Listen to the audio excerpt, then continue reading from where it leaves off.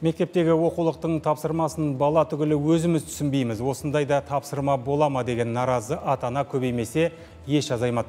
Мұны ескерген оқу ағарту министрлігі жыл басында жаңа жоба әзірледі. Енді мектептегі оқулық тілін түсінікті етуге ата-аналарда атсалысады. Кітап санасына бейжай қарамайтындар өз ұсынысын айта алады қоғамдық талқылау ақпанда басталып, наурызда аяқталды. Биыл тек үш сыныптың жеті оқулығы қаралған. Министрлік ұсынған бұл бастама нәтиже берді ме? Жаңа оқу жылында оқулық сапасы жақсара ма? Әріптесім Аружан Серік тараптармен тілдесіп келді. Қала тұрғыны Гүлназ Сайлауқызының екі баласы жоғары сыныпта оқиды. Оқушылармен үй жұмысын істегенде тапсырманың өзін түсінбей дал боламын дейді кейде мен ұяламын балаларыма мынаны мен түсінбей тұрмын деп айтуға шын мен тапсырмалар түсінбеймін өйткені. Неге? Өйткені біздің көп оқулықтар жаңағы финляндияның оқулықтарына негізделіп жазылған көп шетелдің оқулықтарына негізделіп жазылған ғой. Сол жерден тапсырмалар тікелей аударма жасаған ғой. Мен ойлаймын қазіргі замандағы мына қазақ тілінің түсініксіздігі оқулықтардағы осы балалардың орыс мектептеріне ауысуына себеп болып жатыр деп айта аламын мен.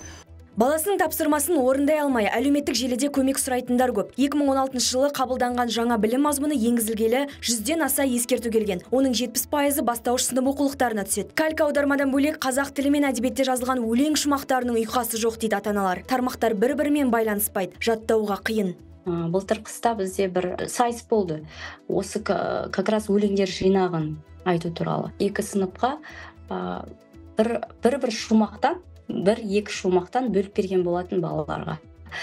Бірақ енді ана шумақ бір шумақтың өзін жаттау үлкен балаға өте қиынға түсті. Сөздердің өзі тіркестері ә, тіптен мағынасының өзі де қабылдай қабылдауға мүмкін болмады.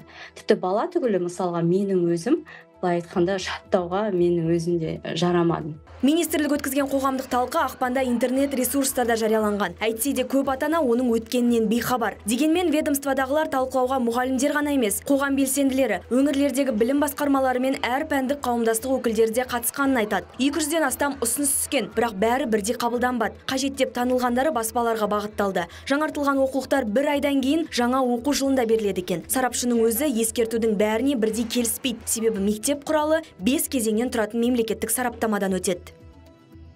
Оқулық авторларына деген бізде қазір талап күшейтіліп келе жатыр. Міндетті түрде бір пән бойынша үш маманның сол оқулықты жаңағы әзірлеуі қажет. Яғни бір пән бойынша сол саланың ғалымы одан кейін әдіскер практик мұғалімнің болуы авторлықта ол міндетті түрде. Сонымен қатар біз биылғы жылдан бастап осы оқулық авторларын жүйелі түрде оқытуды көздеп отырмыз. Оқулыққа сарап, сараптама жасайтын сарапшылардың да сарапшыларға да қойылған талаптар бізде күшейтіліп жатыр. Осы арқылы біз енді оқулықтың сапасын арттырамыз деп ойлаймыз.